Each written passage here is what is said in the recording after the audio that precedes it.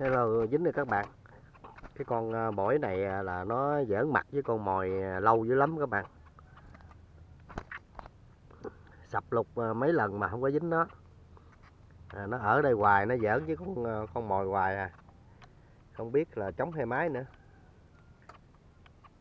Mà công nhận là nó khôn dữ lắm các bạn. Nó không có nhảy vô lục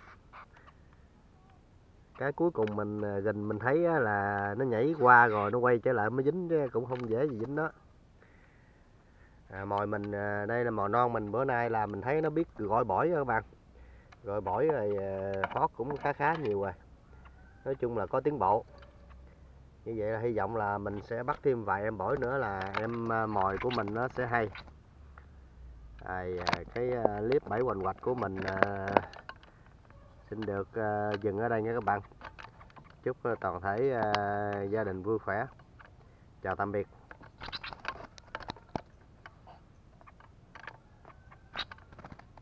Giỡn hả mày?